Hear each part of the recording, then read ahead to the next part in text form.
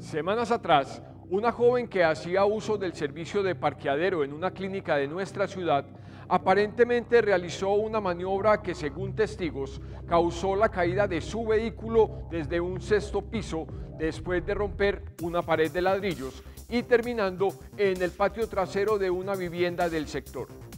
Lamentablemente, la joven perdió la vida, siendo la única víctima del accidente.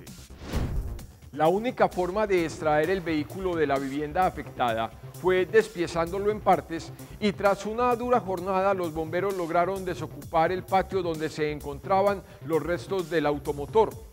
Los invito a ver la siguiente nota en la cual nuestro compañero Julián Vázquez Peláez dialogó con la familia habitante de la vivienda afectada un día después del accidente.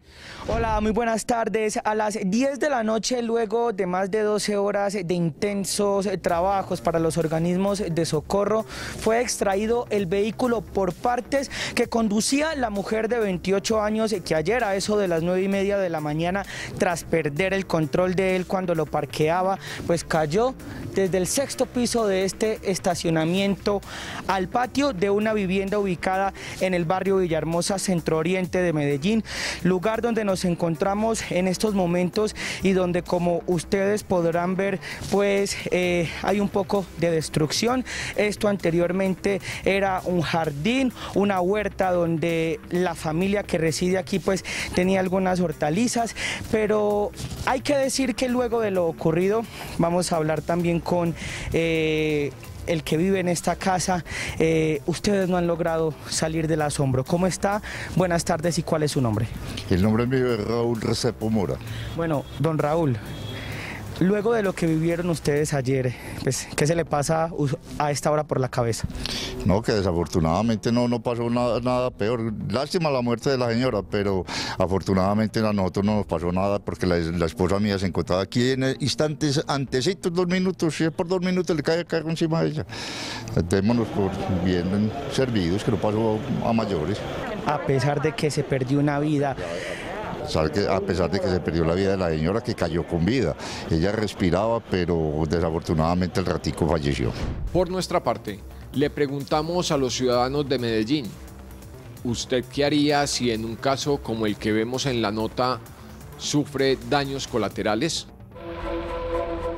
Ir a ver que haya heridos graves para ayudarlos y el resto demandar.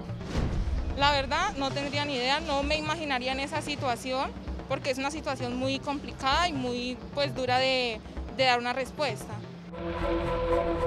Frente a esta situación, primero debemos manifestar que la actividad de conducción es el ejercicio de una actividad peligrosa que tiene un desarrollo jurisprudencial por parte de la Corte Suprema y de la Corte Constitucional.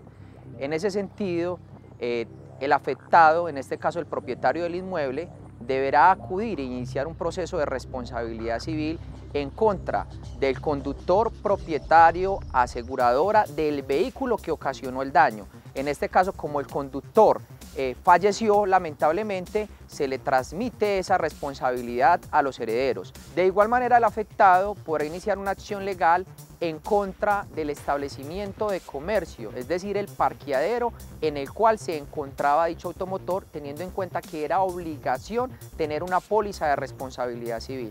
Ahora bien, frente, retomando frente a la responsabilidad del conductor, del propietario y de la compañía de seguro que amparaban ese riesgo a través de una póliza de responsabilidad civil y que estaban en el ejercicio de una actividad peligrosa, debemos manifestar que se presume la culpa. En este caso están acreditados los elementos, el hecho, el nexo causal y el daño. Y en ese sentido, la compañía de seguros a la hora de entrar a responder tendrá que acreditar alguna exclusión que tenga en ese contrato de seguro o verificar que esa situación se haya dado por una culpa exclusiva de la víctima en este caso.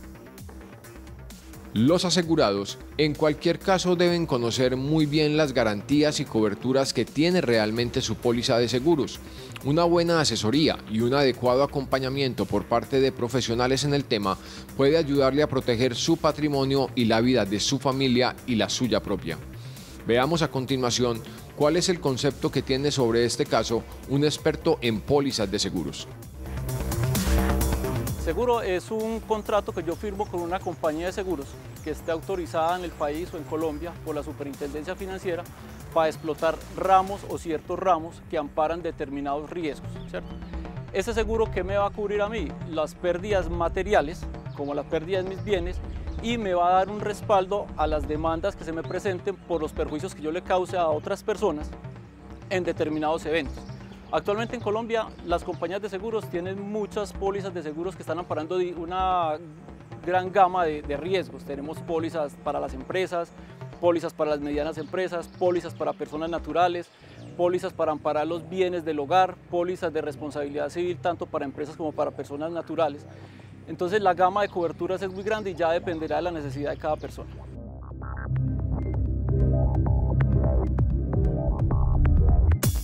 Según nuestro invitado, la cultura de los seguros en Colombia aún está en desarrollo, pues muchos ciudadanos ven estos como un gasto y no como una inversión a futuro. En el caso que analizamos hoy, aparecen diferentes actores, el parqueadero, el propietario del vehículo y los propietarios de la vivienda. Pero, ¿todos deberían estar asegurados?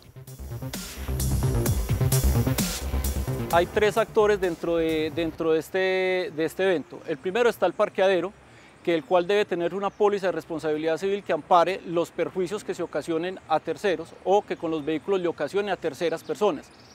En segundo lugar está la conductora del vehículo, que por ser eh, una actividad peligrosa ya debe tener contratado una póliza de automóviles que dentro de sus coberturas tiene una póliza de responsabilidad civil que le va a amparar los perjuicios que le cause a terceros. Con relación al propietario de la vivienda, él debería eh, haber contratado una póliza integral del hogar, una póliza de hogar que le ampare todos sus bienes y su vivienda como tal. Dentro de esta póliza, en el caso que nos toca, hay una cobertura que llama extensión de cobertura o que normalmente se conoce en, seguros como extender coverage, que es la que me van para mí este tipo de eventos, el desprendimiento de partes de aeronaves que caigan sobre mi propiedad, el impacto de vehículos sobre mi propiedad, ahí está amparada esa cobertura y por eso si el propietario tuviera su póliza por esa cobertura es que realizaría la reclamación ante su compañía de seguros.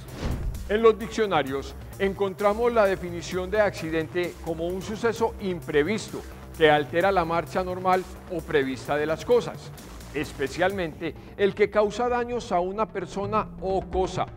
Como tal, los accidentes no se pueden prever, pero sí debemos estar atentos y saber cómo reaccionar, qué hacer o cómo actuar en estos casos. Ya regresamos con más en Usted qué haría.